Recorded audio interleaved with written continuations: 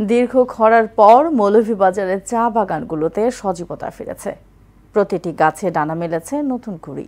সংশ্লিষ্টরা বলছেন, বৈরী আবহাওয়ার কারণে এবার সময় মতো চা পাতা সংগ্রহ করা যায়নি। আর আবহাওয়া অনুকূলে থাকলে চা উৎপাদনের লক্ষ্যমাত্রা অর্জিত হবে বলে আশা করছেন চা বোর্ডের কর্মকর্তারা। মৌলভীবাজার থেকে এম এ মোহিতের তথ্যে আরও জানাচ্ছেন রেজন শরীফ। মৌলভীবাজারকে বলা হয় চায়ের রাজধানী।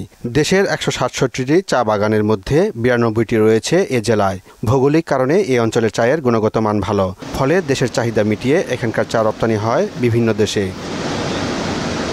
চলতি বছর খরা ও দাবদাহের কারণে সময়মতো গাছে কুড়ি আসেনি। অন্যদিকে পর্যাপ্ত বৃষ্টি না হওয়ায় গাছে লাল মাকড়সা সহ ক্ষতিকর পোকামাকড়ের উপদ্রব দেখা দেয়। এতে চা উৎপাদন কমে যায় বলে জানান সংশ্লিষ্টরা।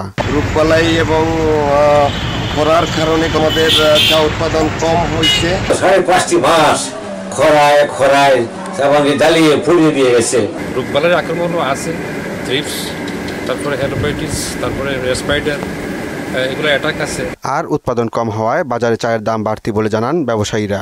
গতবারের তুলনায় এবারে চায়ের উৎপাদন কম হয়েছে। যার কারণে এই হঠাৎ করে চায়ের বাজারে চায়ের দাম বেড়ে গেছে। আবহাওয়া অনুকূলে থাকলে ঘাটতি পুষিয়ে ওঠা সম্ভব বলে জানান আঞ্চলিক চা বোর্ড কর্মকর্তা। রিসেন্টলি আমরা পর্যাপ্ত পরিমাণ বৃষ্টিপাত পেয়েছি যা চা শিল্পের জন্য অত্যন্ত উপকারী। এবছর যদি আমরা এরকম বৃষ্টিপাত পাই তা আশা করি ওই রেকর্ডকেও আমরা ইয়ে করতে পারব বিট করতে পারব। জেলায় পঁচাশি হাজার একশো চল্লিশ হেক্টর জমির চা বাগানে এবছর চা উৎপাদনের লক্ষ্যমাত্রা ধরা হয়েছে দশ কোটি বিশ লাখ কেজি।